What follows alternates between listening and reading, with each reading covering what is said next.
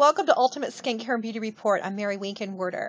Chastity Trulio in Tampa Bay, Florida. This is for you. Uh, you reached out to me on Twitter, and uh, of course, being the loyal Twitter friend that you are, I wanted to get on this as quickly as I could. And so this um, experiment run is just for you. Chastity has a wonderful blog called My Rays of Sunshine, and she is in Tampa Bay, Florida. So, anyway, um, I have just applied the famous, or I want to say the very popular, aspirin mask. And the aspirin mask is supposed to do wonderful things for your skin. And um, so, Mom and I went to the drugstore this afternoon and we bought some aspirin and we decided to try. Well, we decided that I was going to try it out. So um, on a Saturday afternoon on a holiday weekend, I'm trying it out, and I will be sure to follow up with you and let you know how this goes. I'm going to cover it in the blog. Um, you can catch up with me on my blog. I can be reached at www.beautybeautereport.com. And you can also catch up with me on Twitter. It's at Beauty Publicist. At mention Beauty B E A U T E Publicist. And you can also catch up with us on the Ultimate Skincare and Beauty Report Facebook page. Thanks so much for your time. I can't wait to reveal what this does. I've never done this before, so this is going to be really neat. Anyway, thanks so much for your time. Have a beautiful and successful week. Mwah!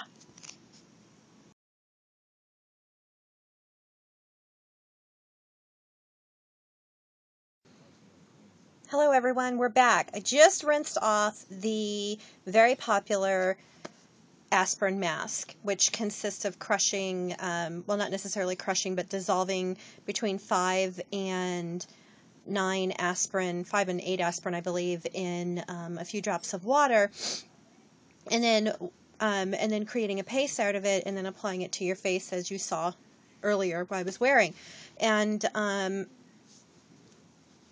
I just took it off, and this was after about um, about seven minutes and uh, just to start because there was it was a thick paste and so some of it was you know kind of falling off but um, it was just kind of flaking off. But um, but yeah i mean it seems it's tightened my skin and i can feel where you know it actually draws the blood circulation to the surface of the skin which is really nice um, i'm going to try this again and i'm going to keep you posted as to the results thank you so much for your time and have a beautiful and successful week Mwah.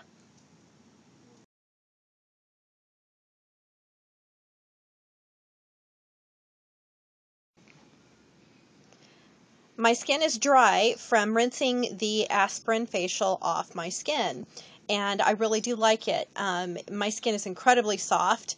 Um, again, I like to revisit the fact that the um, the circulation of blood has increased to the surface of my skin, which I absolutely love. That's always nice. My skin has tightened. It's not taut. It's um, it's very, very, very. It's tight, and I really do like that.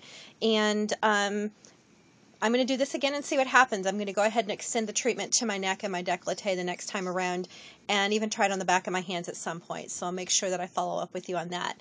Anyway, um, thanks so much for joining me, and um, I hope that you try and possibly like the aspirin facial.